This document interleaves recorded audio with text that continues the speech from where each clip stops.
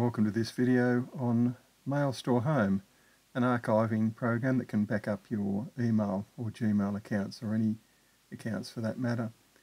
To do that first you go to archive email and then you can see I've got set up a couple of accounts already that are archiving email but to set up a new one type in your email address here.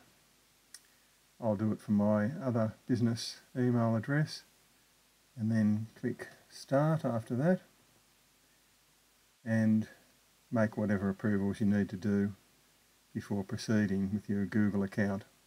Okay, we return to MailStore Home and we double click on this new profile to start it or we can it'll eventually end up in this area here with other profiles but uh, you can come down here and select run or double click on it.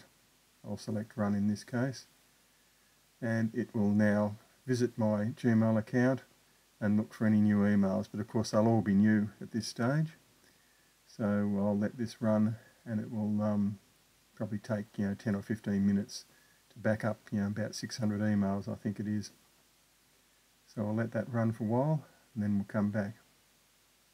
Okay that's now completed and I can close that window and now my new account appears up in the left pane here I can click on that, expand it, and you can see we only have two sub, sub folders, received emails and sent emails, in other words inbox and sent items, and I can click on that and I can sort through and view emails. It's a you know fully fledged email viewer.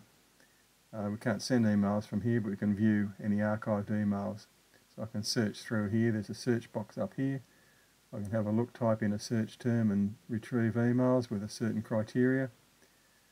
And uh, yes, it's a, it's a very effective way of backing up your email. So I think we'll leave it at that. And as always, thanks for watching.